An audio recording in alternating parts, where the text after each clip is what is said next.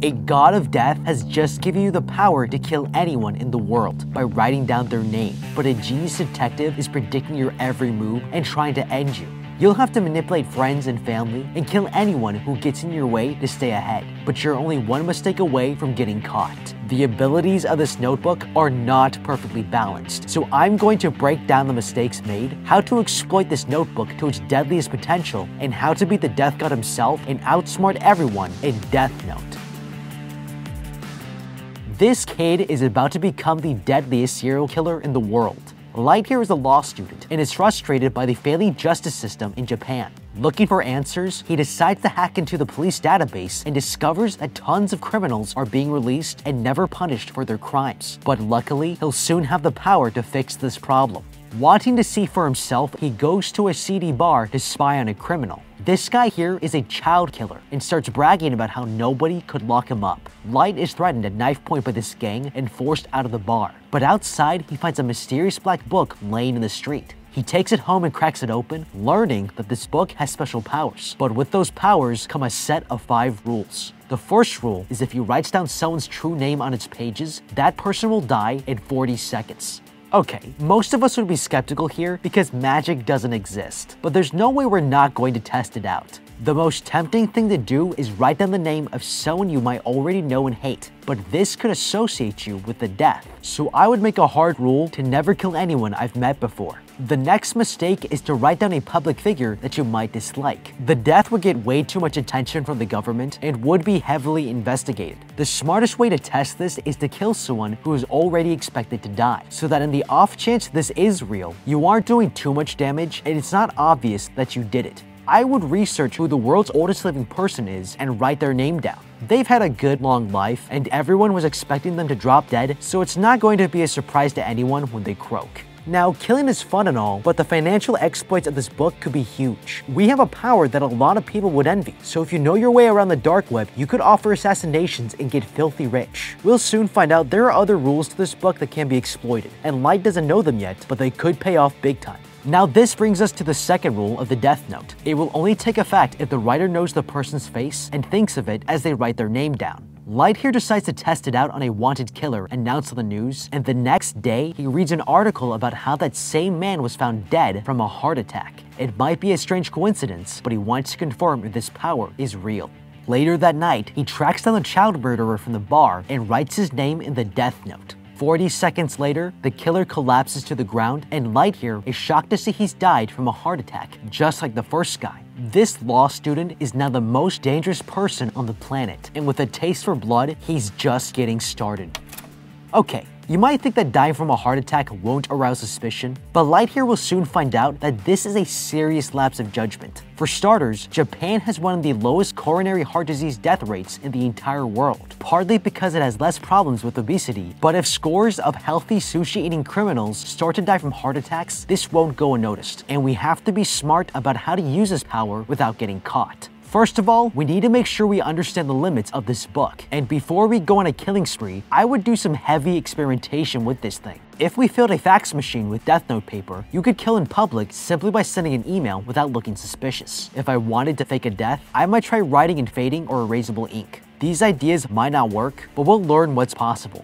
On his way back home, this demonic creature appears, introducing himself as the death god who dropped the book, and he's decided to let him keep it. The creature explains that only those who touch the Death Note can see him, and is neither his ally or enemy. He asks the monster what its name is, and is introduced to his new partner in crime, Ryuk.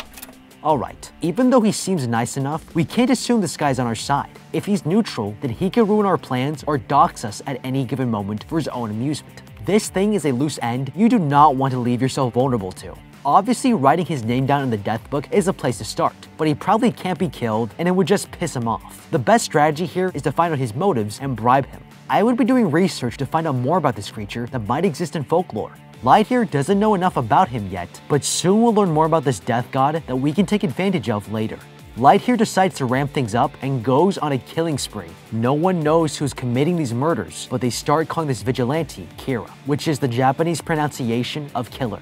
Four months later, and the police department can't figure out the connection between all these dead criminals. They believe a virus might have killed the victims, but the captain here thinks they might have a serial killer on the loose. He goes to meet with the commissioner and learns that the brilliant detective L is on the case. He's analyzed the data and figured out that not only is Kira in Japan, but he's also a single person killing people through unnatural means. Okay, Light is going on a bender here, and it's not the smartest move. The pattern has already emerged and it's getting way too much attention. But this has a solution, because the third rule of the Death Note is if the cause of death is written within 40 seconds of writing the person's name, it will happen. A sharp increase in heart attacks among a healthy population will show a pattern, so we need things to be as random as possible with no pattern behind it. The best way to do this is with dice. I would compile a list of criminals I wanted to kill. Then a series of dice rolls would tell me who dies, how, and when.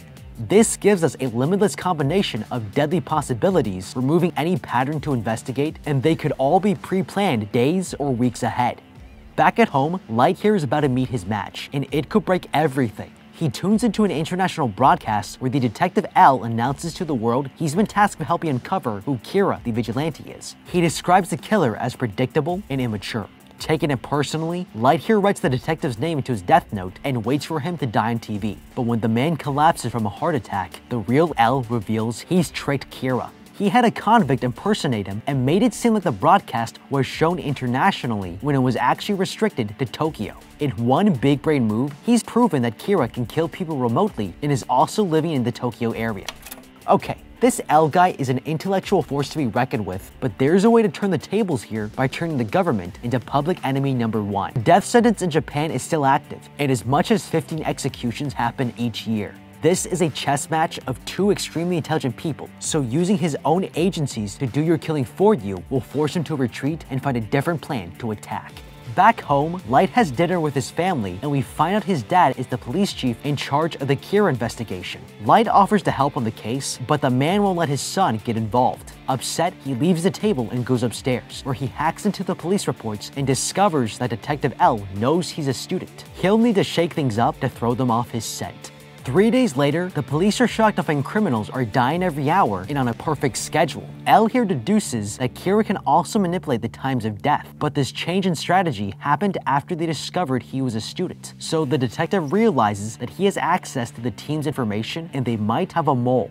Okay, Light has just confirmed that he can access the police department's information, and it gives them an opportunity to take that advantage away. I would go analog with the entire investigation and take everything offline, but use the database as a decoy by planting misinformation to study how he reacts to it. If we already know that Kira is a student, then we need to narrow our scope to a specific school if we want to get closer. We've also seen that Kira lets his emotions get the better of him when he's under pressure. I would put false information on the police database that the dean of Kira's school is coming in to give a testimony in less than an hour he'll see the fake report and just might kill the dean. So whichever dean is dead by the end of the day is the school Kira goes to. On his way home, Light suddenly notices that he's being followed. Somebody is onto him, and he needs to find out who this is before they catch him. The Death God asks how he will get the stalker's name, but he has a plan, and he's gonna use rule number 4 to get it. After writing the cause of death, details of the death should be written in the next 6 minutes and 40 seconds. The next day, he's riding the bus with his girlfriend, and the stalker from yesterday has followed them. This is no accident, and Light has a master plan.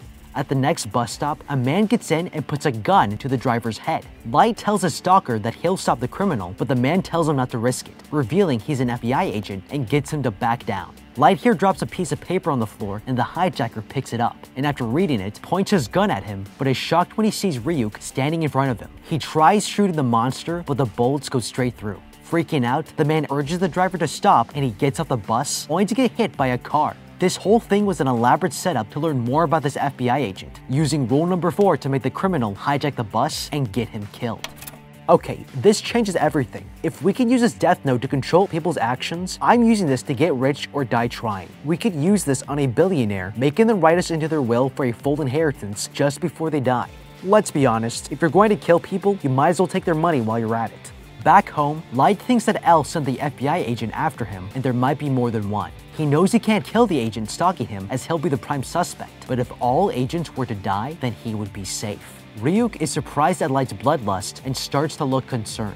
There's a lot more to this death god than meets the eye. Okay, this is interesting. Ryuk should be happy here because as we learned, every death will extend his life. Clearly, we don't know everything about this guy, and if he's keeping secrets from us, we need to find some leverage over him to make sure he won't screw us over. Now, we saw on the bus that physical injuries cannot hurt this creature, so killing him is out of the question. But blackmail and bribery might still be on the table. Threatening to destroy this book might get us answers he doesn't want to give, so we might be able to use this to get him to do our bidding. We just have to be careful not to piss him off.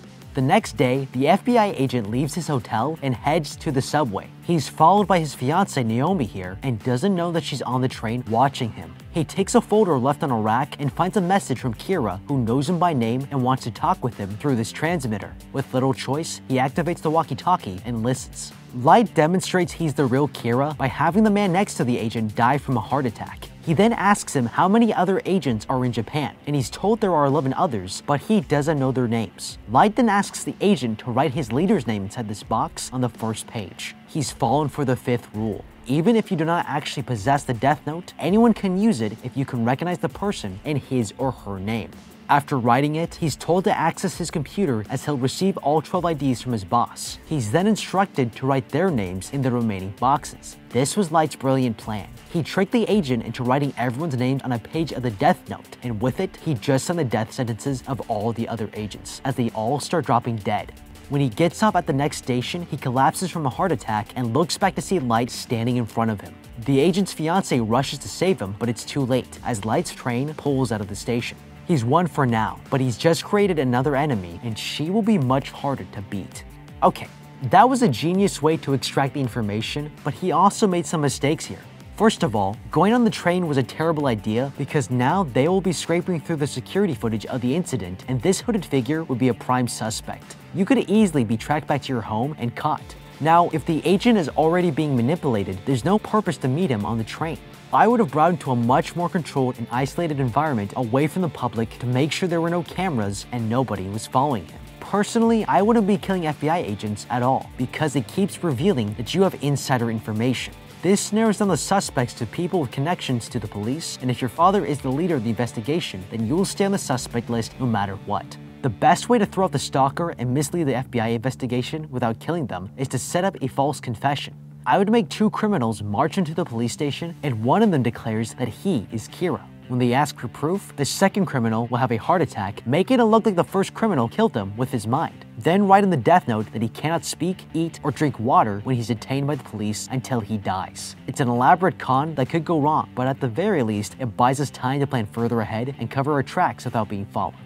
Later that day, the police chief announces to his investigation team that Kira is now killing people who aren't criminals and gives them the option to quit. Knowing how dangerous this has gotten, almost every single member leaves until only six are left. The police express their frustration for the detective and demand he shows his face if he wishes to continue working the case. Accepting their demand, the liaison takes the investigation team to a hotel where they meet the detective in person, and he is not who they expected. They all introduce themselves by name, and he chews them out for it. If he was Kira, he would have all their names and they'd all be dead. They've been on the losing end of this battle, but L has a new strategy that he thinks can stop Kira for good. Okay, this guy's a strange dude, but there's one detail here that tells me Kira is screwed. This guy only eats candy, and at first glance, this looks like a weakness, but it's not. L here is using a high caloric intake diet to stay awake and alert for as many hours as possible. The brain uses the most calories in the body, where even a stoic professional chess match can burn the same amount of calories as running a marathon. Crab fishermen also do this when they have only a 3-day window to hunt for crab, and they need to stay awake as long as possible to maximize their time. L is looking for an advantage even in his diet, and it tells me he's thinking on more levels than Kira is at the moment to ensure he doesn't miss any opportunity to catch his killer. Later, the dead agent's fiancee, Naomi, has taken matters into her own hands. She finds information on the bus hijacking from the newspaper and meets the driver who mentions that her fiance was seen arguing with a young man, but he disappeared before the police arrived. Meanwhile, L watches the surveillance tapes of the agent's death and finds an important detail in the footage. With one glance, he's figured it all out. He informs the team that he's narrowed down the list of suspects to the families in the police department, including the police chief's son, Light. He knows that the FBI agent was tracking Light and knows the agent's wife used to be part of the FBI, and since she followed him, she must have felt there was something suspicious going on. Suspecting Kira was on the subway, Aldo arranges to plant cameras in the police chief's home and keep watch over Light for seven days. Now, this is all well and good, but it's also completely unnecessary because Japan has a stop and frisk policy. They're super polite about it, but if this kid has proven he can kill someone at any given hour of the day, then it's either done in his mind or done through an object on his person. If he's frisked, he will either run away, which lets you arrest him, or they would find the book. This solution takes no resources other than a well-placed beat cop. The next day at college, Light here is greeted by his girlfriend and the woman he saw at the subway. She gives him a business card and admits she's the fiance of the agent that was killed, and thinks Light here killed him. He denies the accusation and his girlfriend backs him up. Light here takes out a piece of paper from the death note and writes down the woman's name on it, but nothing happens to her. The woman warns him that he can't kill her because she gave him a fake name.